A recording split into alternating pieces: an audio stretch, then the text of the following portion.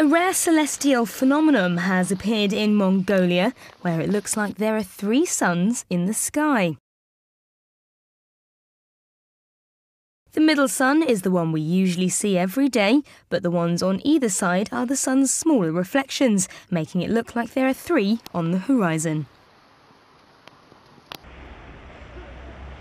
Staff at a local meteorological centre said the optical phenomenon is known as an anthelion, which means the reflection is caused by sunshine high in the sky and light passing through snow crystals in the air. An anthelion appears only in a very rare situation, where the temperature is lower than minus 30 degrees Celsius and the air is filled with clouds, vapour and ice crystals.